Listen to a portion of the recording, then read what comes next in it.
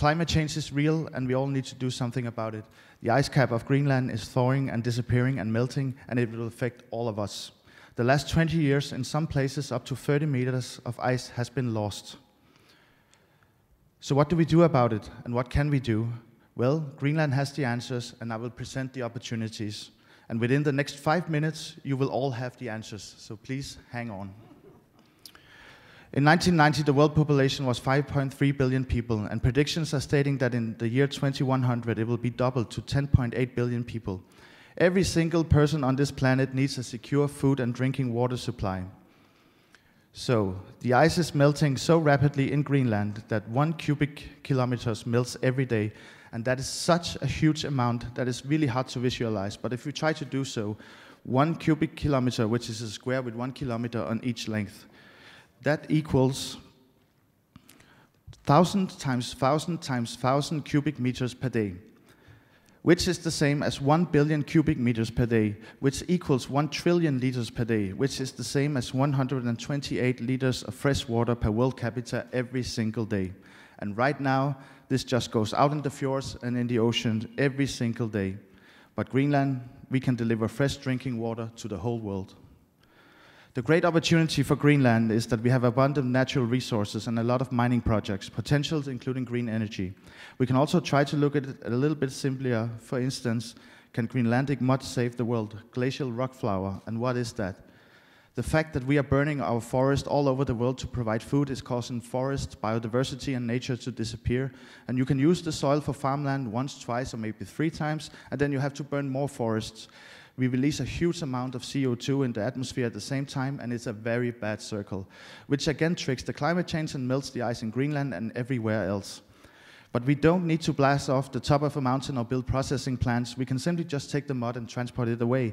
And as you can see, glacial rock flour just pour down in abundant levels every day. So the rock flour and the silt is crushed to tiny nanoparticles by the weight of the retreating ice sheets, which deposit roughly 1 billion tons per year. The rock glacial flour, rock dust, or the sediments contains a reincorporating all the good minerals, which creates more and better fertile soils by returning minerals to the soil, which has been lost by erosion, leaking, and or over farming. So in this way, Greenland could improve food security and with the help of and help the economic imbalances which is partly caused by an uneven distribution of good quality farmland across the world. And measurements indicate that the new crops are better to absorb CO2 and, and grows better, and potentially it is more sustainable alternative to conventional fertilizers. So Greenland can actually help to save forest, climate, biodiversity, and lower the emissions at the same time. This particular uh, innovative cooperation, an example uh, of a very early stage project, is led by the Greenlandic professor Minik Rosing, together with scientists, universities, and farmers.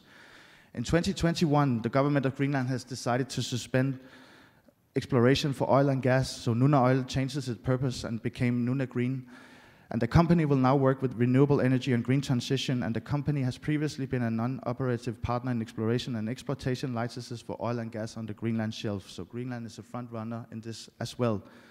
We are also constructing three new international airports in Greenland. By the end of the next year, we will be better connected to the world. And if you want to learn more about hydropower resources potential, please reach out to us and have a look at hydropower.gl. Greenland is also a wonderful laboratory for Arctic research, and I encourage all of you to be in contact with the Arctic Hub and ISAFIC, the Arctic Gateway, and the Klima Greenland Climate Research Center. We also provide top quality sustainable seafood, which offers a better and healthier life. The Arctic is changing, and the world can actually learn from it and from Greenland, and we offer opportunities to build a better world. So, as you can see, climate change also means opportunities, and Greenland can play a key role in the green transition. But with all the green transition, we have to keep in mind that we must not give up our heritage, our culture, and identity. Arctic is also about the people. It is our people, it is our identity, it is our home. And these climate changes are already affecting our local community who depend on fishing, hunting, and their livelihood. This is why it is essential that we need to contribute to prevent and significant climate change. So ladies and gentlemen, let me conclude.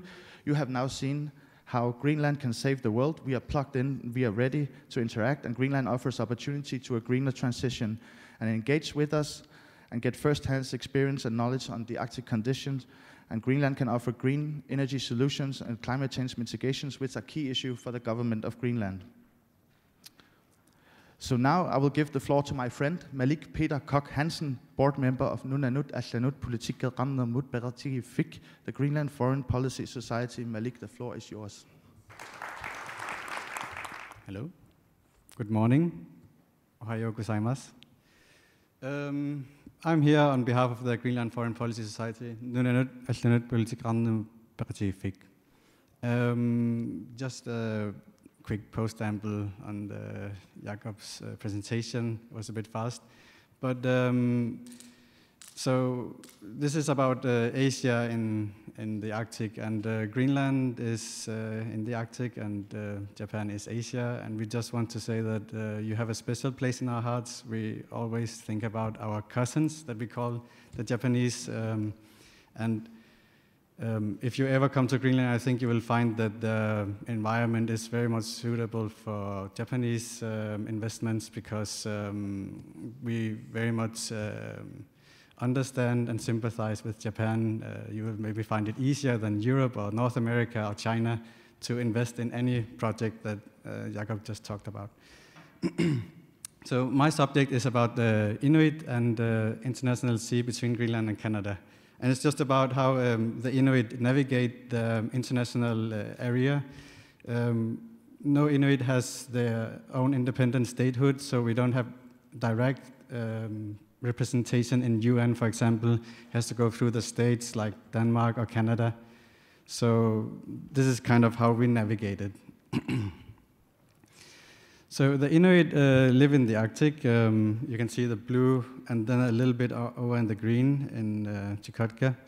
Um, span all the way across the Arctic. We have a similar culture, similar language and history. Um, for example, my name, Malik, means the same, all the way from the southern part of Greenland to the Aleut in the, in the top of there. So um, we have very similar um, people uh, so we, we call ourselves uh, Inuit, all of us, uh, it's Inuit Nunaat, the, the land of the Inuit. But to us, you're also Inuit because Inuit means humans. okay. Um, yeah, up until the 18th century, it was kind of a semi-nomadic um, people. We would travel across, uh, finding food and settling down and moving around. So Canada and Greenland wasn't specifically two separate countries. It was just Inuit Nunaat. And um, yeah, my subject is about the two cases of international law uh, of the sea. so this is an area, a country of extremes, both. Um, we have the longest maritime border in the world. It was already the longest maritime border in the world before 2022, but it's even longer now. So this uh, black line you see is uh, 129 um, points that are connecting the meridian line between uh, Green, uh, Greenland and Canada. Um, Canada has the longest coastal line in the world, 202 kilometers, 1,000 kilometers, so it spans around the Earth uh, the equator five times. Greenland is already 44,000 kilometers, which is a larger coastal line than Russia. It's a very huge area to, um, to caretake. Uh, with a very uh, sparse population. We have the sparsest population uh, for the um, square feet or square kilometers per capita. Um, so this little blue dot you see, there's an island there. Um, it was a disputed area together with the green area and the squared out area in the Labrador Sea you see down there. Um, so maybe some of you have heard about Hans Island. Uh, I would talk a little bit about it. Um, so in Greenlandic, it's called Tartupaluk, which means um, something that looks like a kidney.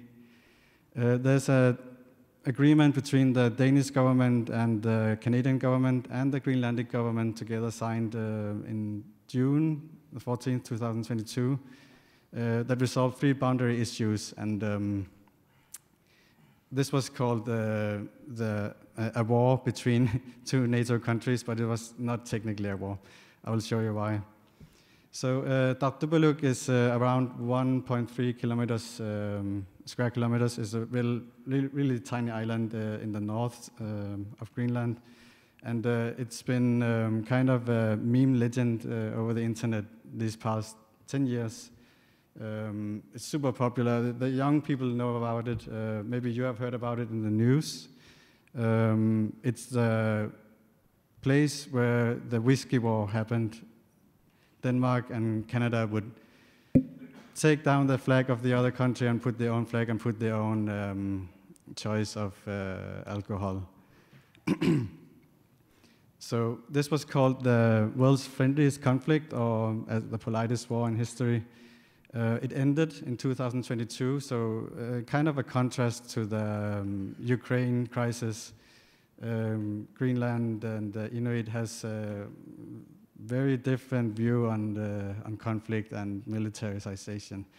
So um, this was a dispute. It happened um, actually way back um, in 1933. Uh, the International Court of Justice for the League of Nations awarded Hans Island to Greenland but uh, as it was called, the permanent court was uh, not permanent, and it ended in, in, after the Second World War. So um, when the new uh, line, meridian line, was drawn between uh, Canada and Greenland, uh, it went through the island because it's situated exactly 12 nautical miles within the territorial sea of both Greenland, uh, Greenland and Canada. So they both had a claim to it, and um, that's how the conflict started. but um, there was, a, as you see, a little, little bit hard to see, but there's a three, um, two foreign ministers and a prime minister signing the agreement uh, in the background of this picture, uh, this slide. But uh, this was solved peacefully. It was solved with, uh, in accordance to international law and um, without uh, too many problems. So um, this is three, just three points. Uh, the, the new agreement added uh, 50 new points to the um, territorial, uh, the maritime border between the two countries. Uh, should maybe a little bit quicker. Sorry. Uh, so just uh, in short, um, for Inuit, international law is not. Um, so we say nothing without us, nothing about us without us, because our um, uh, participation in international law is not a given. Uh, we don't have statehood. We don't have uh, our own independent representation in the UN, for example. But we, we have consultative status. For example, ICC can consult the IMO and, and the UN on, on subjects.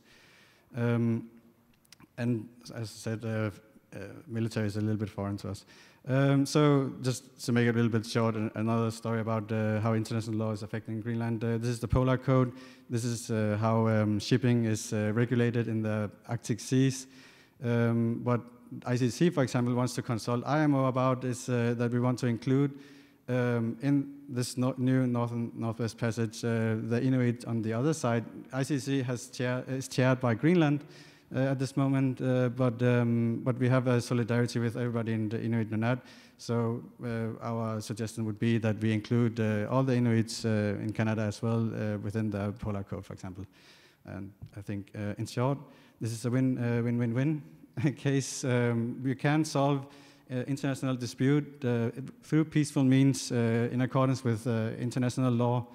It's not impossible.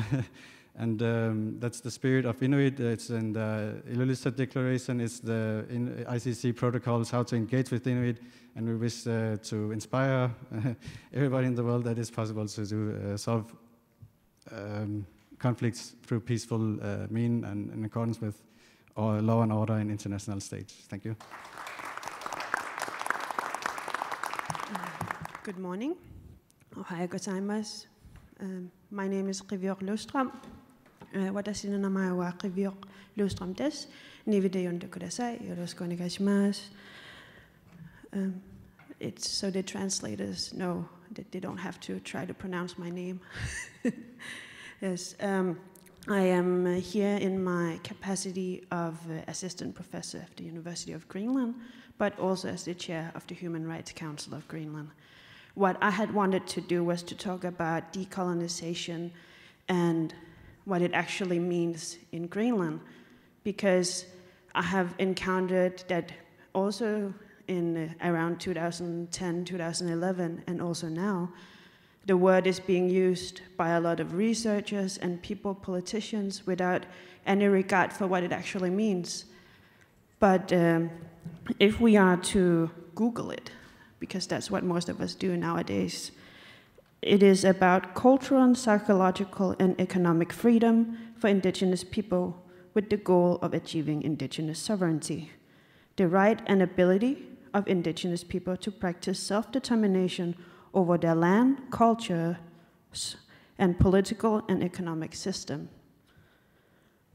And that sounds wonderful, but how do you put it into action? How do you implement it? And how about we say it's already ongoing? Greenland is a beautiful example of decolonization. You have just seen two Greenlandic men talk about what we are capable of in Greenland, how we are part of the political agenda internationally. Um, we have our own government. We had home rule first, and now we have our uh, self government from 2009 till now. So we have achieved quite a lot when it comes to the legal part of becoming decolonized and starting to take uh, back our own country. But it's also uh, the language we speak, the culture that we are keeping and that we are revitalizing. I have traditional Inuit tattoos. Uh, when my parents saw that I had them, they were quite shocked because their generation couldn't even think about having those kind of tattoos. Uh, it was inconceivable, so to speak. And so uh, we are the only Inuit uh, that still speak our own language as the majority. Uh, the rest of the Inuit in Inuit Nunat, as you saw on the map before, they mainly speak uh, English and have lost their language uh, in a very big way. And uh, another part of it is, though, when we want to decolonize, we have to be able to discuss it. We have to be able to talk about the scars that colonization set upon Greenland. And uh, even though I'm very proud that we have our own language secretariat, we do not have a word for decolonization. We do not have a word for colonization of the mind, of being colonized as a person. Uh, that concept doesn't exist. And because of that, there cannot be a public debate in Greenland uh, about decolonization. So, what we are doing from the Human Rights Council of Greenland is creating the terminology so that the Greenlandic people themselves can discuss and debate about their rights and their experience rather than having a Danish speaking elite talk on behalf of the other maybe 80% of Greenland. So, because of this, we also have internal uh, discourse that where people don't agree with each other. We have people that really want to decolonize uh, the culture and the language and really want to be an independent Greenland. Uh, and they are sometimes considered as radicalist and uh, in the public Facebook groups and debates, we use Facebook a lot in Greenland. Uh, they're often referred to as decolonizing good, the decolonizers, as if they are not part of the public, as if they're something else. And that kind of showcases that we need to have these discussions because uh, we don't really realize how far we have come because our history books, for the most part, were written in Danish by Danish historians. And so there was no actual uh, Greenlandic spirit, so to speak, in those books. Um, so when we talk about self determination, it talks about our right to decide our own destiny in the international order. Uh, and we got that uh, in the uh, preamble of our Self Government Act that we are recognized as a people with, a, with the right for self determination. And that was a wonderful uh, piece of progress. But even before that, we were actually really active internationally because uh, it was a Greenlandic woman who came with the suggestion that, it, that we needed a, a permanent forum for indigenous people under the UN.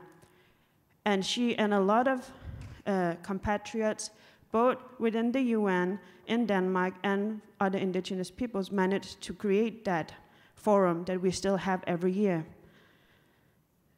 And a lot of other mechanisms for the rights of indigenous people, such as the ILO 169. So you see, even though we were not considered a, a people with the rights of self determination, we managed to do quite a lot internationally, and we still do. And um, I, I, I wanted to highlight that because when I mentioned her name for my students at the University of Greenland last fall, none of them recognized her name. None of them knew what she had achieved, and none of them knew of how much Greenland had contributed to the international rights of indigenous peoples. And I am pretty sure that none of you who listen now knew either. So it is also important to showcase these things so that we can treat each other better, but also so we know our own words as indigenous people in Greenland and what and how far we have actually gotten in in uh, decolonizing ourselves. Because sometimes when we just say the word it's it's such a faraway concept but when you see constructs that we see every year such as the forum and other places you, you can kind of see that it is actually something tangible it is something that is going on and it will keep going on thank you so much My name is Ulrik Pram I'm a senior researcher at Danish International's uh, Danish Institute for International Studies. But as speaking here, I, I think it's important to say that uh, I worked for the government of Greenland for, for some years ago. Uh, and uh, in that sense, I am a sympathetic analyst of the presentations uh, that, you, that you just heard. Um, I'm going to speak very briefly on why those of you who uh, go around to Arctic fora like this, but perhaps even more in, in more formal settings like the, the Arctic Council, why you sometimes might experience uh, a certain disorientation about when is Denmark speaking, when is Greenland speaking, when are Inuit speaking, what, uh, what, uh, who, who, are we listening to, who are we talking to here? And I'm not going to do that in detail, but I'm going mainly to do so by explaining you this slide. Uh, and uh, the basic point is that in, at, at, as, at the moment, there is a constitutional relation between uh, Denmark and Greenland. Um, its Danish name is Rigsfællesskabet. It's sometimes uh, translated into English as a commonwealth, but really that's not a very good translation. Uh, the, the, if you should do it more literally, it would be a community of the realm. And of course, that's in a sense an oxymoron, a, a, a really literally a realm, a rige, that's something hierarchical. There's a sovereign at the top, and then there's subordinates below. But a community, that's something lateral, something maybe even cozy and nice uh, to be part of.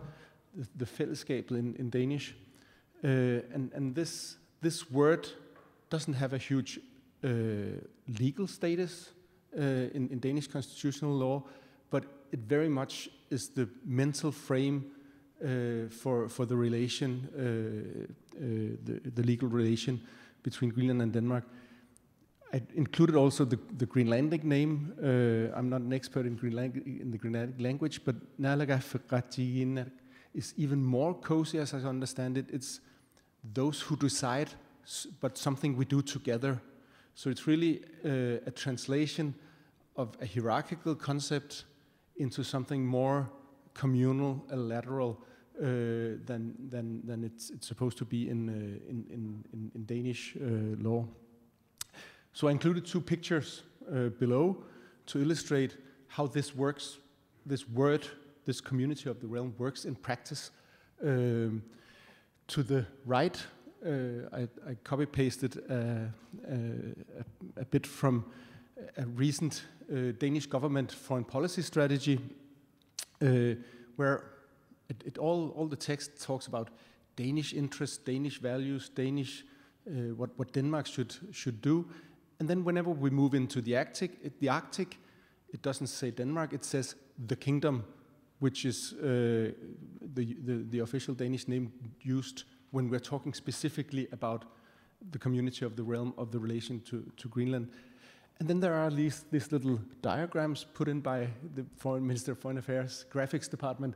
And, and that, if you look at that diagram, it, it, it's, it's not an obvious hierarchy. It's, uh, it's a kind of a network with three nodes, each with their own authority. Uh, and, and again, that's the way Danish politicians, particularly, but also uh, in uh, the, the, Danish state in, in, general, promotes the community of the realm to to uh, to its own population, but also outside. That it's it's a nice it's a nice cozy and, and lateral relation. If we skip to the to the picture at the left, it is uh, a picture of our queen, Queen Margrethe II, as a quite young woman. Uh, and I think she's, she's in a sense, trying her best to have a cozy relation to a young Greenlandic girl. But obviously, if you look at the Greenlandic girl, there's, she feels a hierarchy still in, in that relation. and, and that's basically the, the point here that I wanted with this slide that uh, the relation between Denmark and Greenland, I think most Danish officials really, really do a lot, uh, do an effort to make this as, as nice and equal as possible, but it just doesn't work because we have a, a, a common luggage uh, with us. And to engage that luggage, uh, Greenlanders take up a series of positions. Um, most of the time, uh, most politicians talk as if we will soon be an, an, a, a sovereign state at other times, it's more efficient to, to take on uh, the speaking position of a, an indigenous people. Uh, and, and, there are a lot of variations about how to make those two things work together. Uh, and that was all the rest of my slides were about that, but I'll, uh, I'll skip it in the interest of time just to let you go with this basic point that uh, Greenland and Denmark, it's a cozy relations, it's also a hierarchy, and Greenlanders are pretty pragmatic in how to get moving from that uh, hierarchy and, and uh, have their voice heard effectively in different fora. So please skip the rest of the slides. I'll give the floor to uh, Klaus Georg Hansen, who had numerous positions in the Greenlandic government.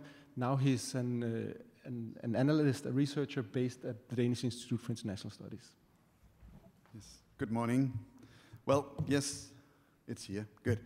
Um, I will echo some of this, some of what has been uh, said already, uh, not least what uh, has been uh, touching upon. Uh, I have. Uh, where is,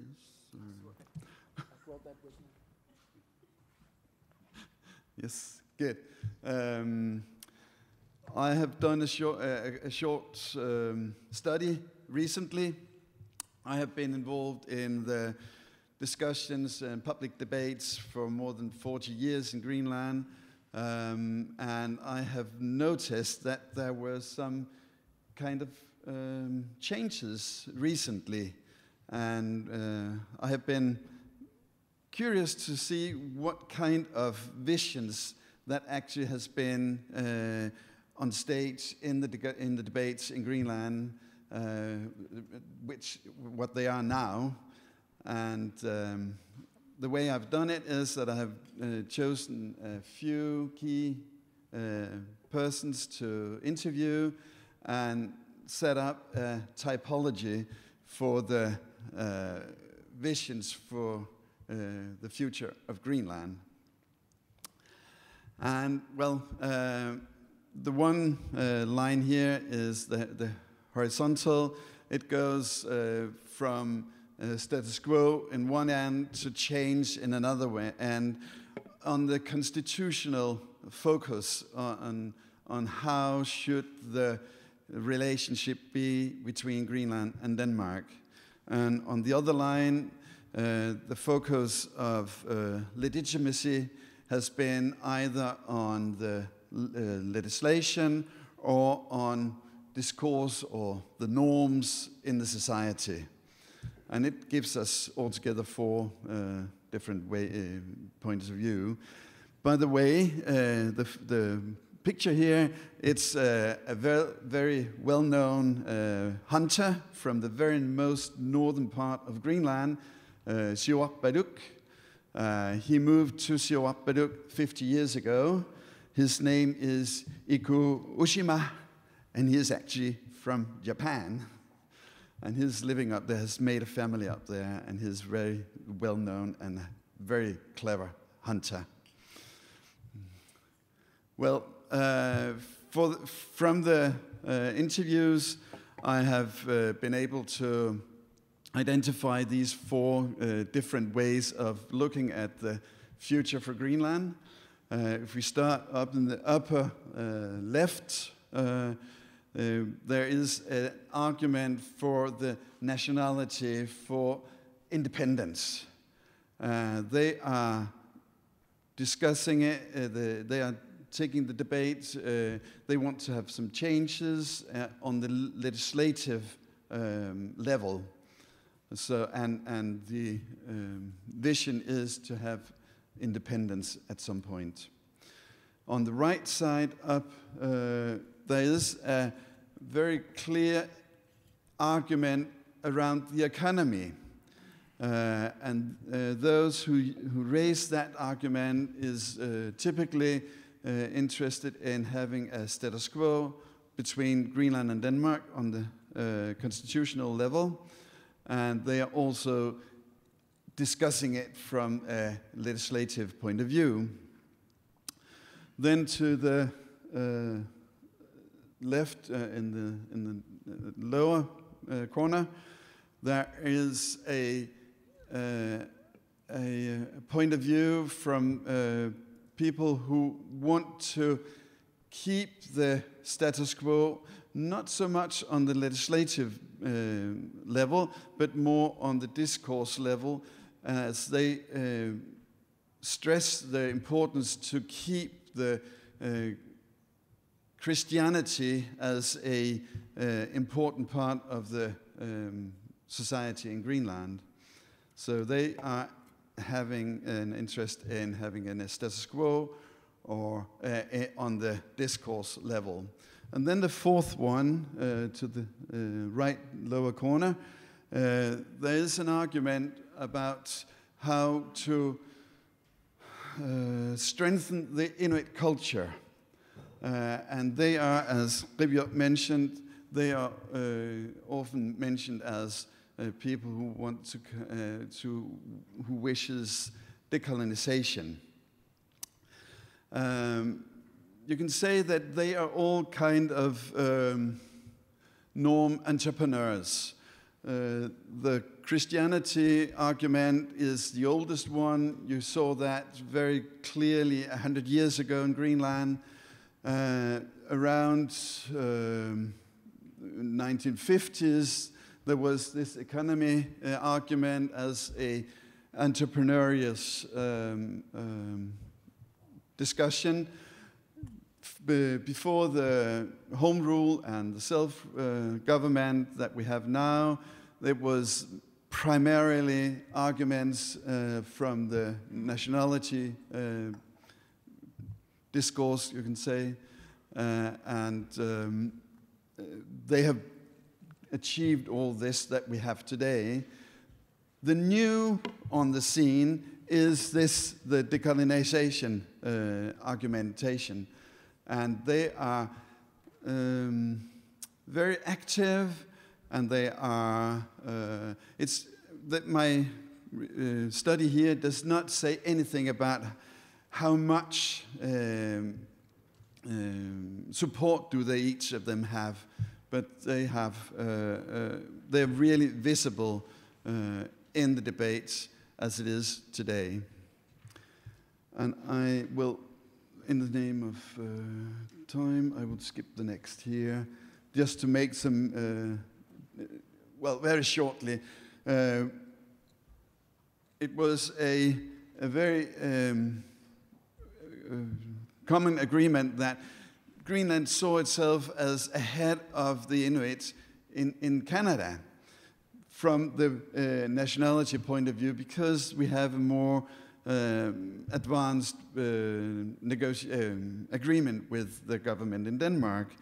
But now, oh, sorry, uh, but now uh, the colonization uh, argument is that Inuit in Canada are ahead of Greenland because they have a much closer connection to the Inuit culture. So we actually are looking into that now. And for the uh, statue of the missionary Hans Egede, who started the mission in Greenland in 1721, uh, there are also different views on whether to keep that statue or to get rid of that statue. So that's what, my, what I would have to say. Thank you so much.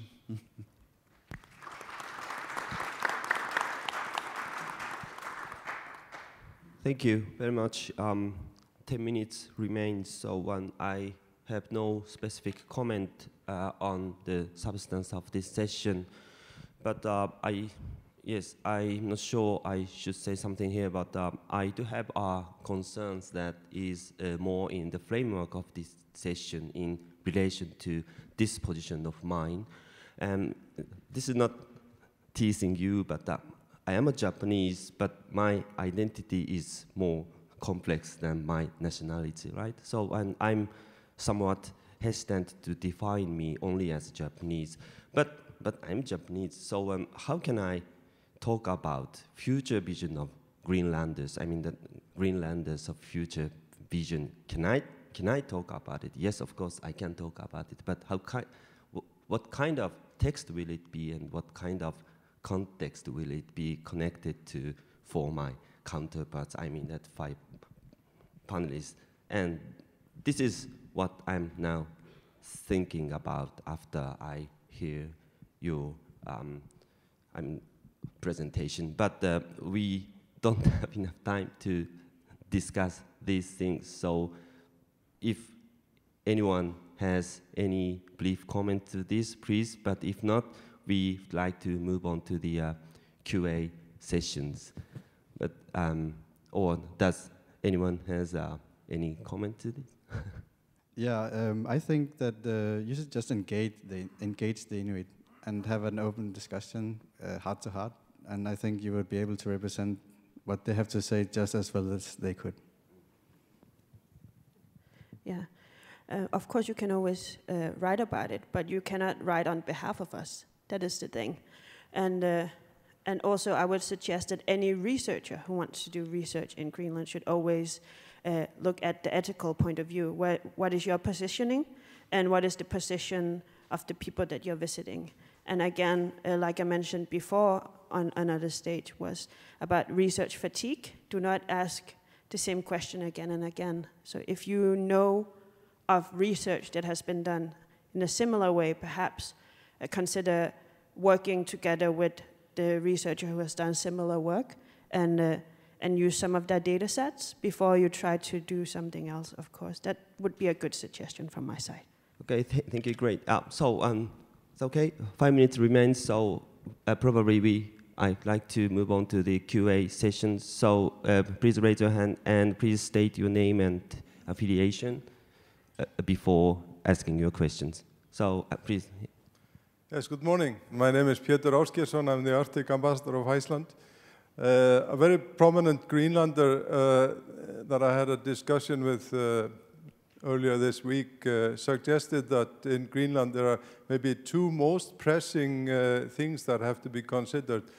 On one hand, uh, education, and on the other hand, the build-up of the Greenland e economy. And to me, the, the, in the core of both of these is the language. Of course, as uh, in Iceland, you, I mean, we had to make sure we kept the Icelandic language. You have to preserve the Greenlandic language. But what are your uh, uh, uh, how do you feel about uh, a second language? Is that Danish or perhaps another language? Thank you very much for this very important question. Um, I think I will try to do it very short, but it's a very complex uh, question. When you're talking about also most, some of the most pressing questions in Greenland, we talked about climate change, we talked about culture, we talked about language and so on.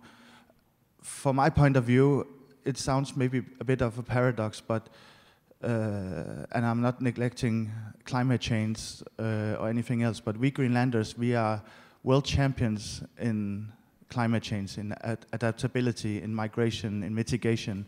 We have survived in the Arctic for 4,000 years. We have survived all kinds of changes. We have survived different kinds of colonization across the Arctic. Uh, so in my view, one of the most pressing issues is actually how we are going to deal with the future. Because as you saw in the presentation, there's no limits on how much we want to engage with the rest of the world. We are building new airports. Uh, we want to have more research. We want to do basically everything, huge mining projects, simple mining projects, and so forth. And all this uh, for all this, you need people, you need workers, and we have to be realistic. We are only 56,000 people in Greenland. And right now, as you have heard, we have a lot of discussions, internal discussions, very difficult discussions about language, about culture, about identity in Greenland, already between Denmark and Greenland.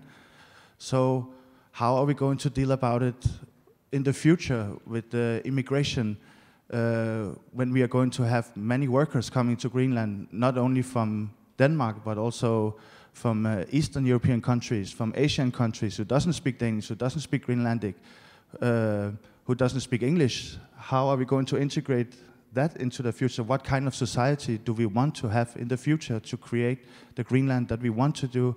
So we are in control of that ourselves. So we take the decision ourselves so we can try to steer it. I know it's very difficult, but I think it's a thing that we need to discuss internally in the society and among the political uh, debates that we have in the parliament. How are we going to create the country we want to create? And I think uh, that will be a very pressing issue uh, we will have to deal with in the future. Uh, I suggest we just quickly take the two last questions and uh, we'll get some quick answers. Three, maybe two, three. Uh, I'm, I'm Liu Dan. I'm from uh, Dan Liu. I'm from Shanghai Jiao University. Actually, the question uh, for the female speaker, I really appreciate that you mentioned about decolonization or determination, those uh, legal terms, because for international lawyers, this terminology are very important. So my question is very short. I want to know in which way domestic, original, or international approach, in which way do you think uh, these are important? Which way is important to, to get a recognition from the, uh, from the legal level uh, for indigenous people? So that is, uh, I think that, that that's just simple the question. And, uh, and just, uh, can we have the last question quickly? Several years ago, US President Donald Trump proposed to purchase Greenland. Do any of you want to be purchased? I'm uh, Tim Shirk from Alaska. Just wondering. All right. Um, I will answer very first the first question, and then I'll come over here. Um, we, as an educator, I can say that 80% of our students at the university are female. And, uh, and the predictions that we can see from the statistic of Greenland is pretty much the same. So Malik is actually very exceptional that he's here with us. and uh, the thing is, you, we have to then think about wages and gender equality as well in the workforce, because right now it's very much made for for men. Uh, so uh, uh, there's a lot of stuff we need to rearrange. But I also wanted to mention we have extremely many Filipinos and uh, Thai people in Greenland, and they, after spending one year in Greenland, speak pretty fluent Greenlandic, We don't see that from the Danish side. So uh, I'm not worried about people from Asia coming and not learning our language. Um, so uh, when it comes to the legal part of this, it's kind of paradoxical because we want to be seen as the indigenous people that we are. But uh, uh, there's parts of uh, the legal framework that you see everywhere, for example, when it comes to whaling, that kind of ensures that if we do become a state, then we cannot whale the same way that we do as in, indigenous peoples, because then our rights would be different. So there is something in the international framework that needs to be done, not necessarily under the UN, but under the organizations under them that we need to kind of satisfy to be able to be seen as respectable people who, who hunt what we do. And uh, also know uh, I was part of the people who sent the reply to President Trump. So thank you for, for that reminder. Yeah, um, I can just quickly answer that. The, our prime minister at the uh, Arctic Circle a couple of years ago answered that, and he said, uh, "We are not for sale, but we are open for business." Um, I want to thank the Japanese government and the ministers and the representatives of foreign, uh, yeah, foreign uh, representative uh, ambassadors and the yeah, parliamentarians. Um, the Arctic Circle uh, Secretariat, uh, Olafur Ragnar Grímsson, amazing uh, Japanese uh, Japan forum, uh, very well put together, um, lots of uh, experts, very democratic um, setting. Thank you.